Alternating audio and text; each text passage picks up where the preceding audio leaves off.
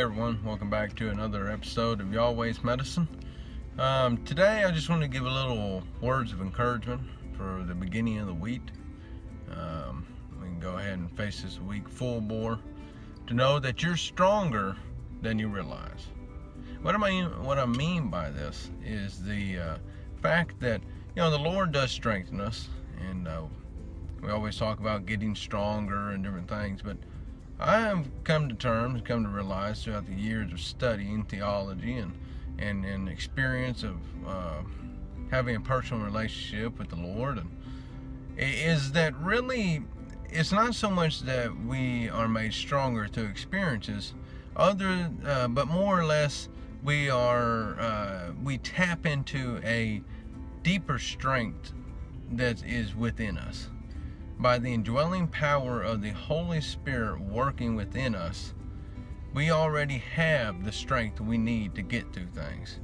It's only by experiences, by tougher experiences and situations, that we begin to really tap in to this strength that works within us.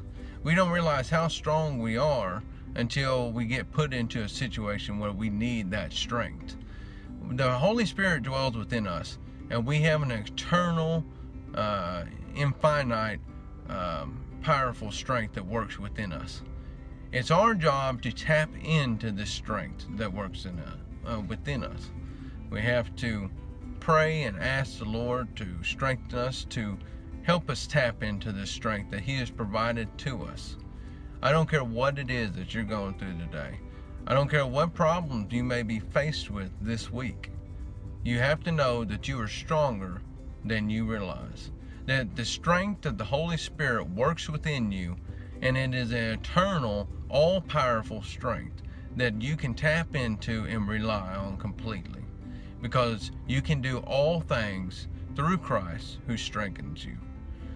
Let's go ahead and continue to rely on the Lord, live and walk in the Spirit, and praise and glorify Him uh, and please Him above all else. I hope this helps. I hope you have a wonderful week. Uh, thanks for watching. Please share and subscribe, and God bless.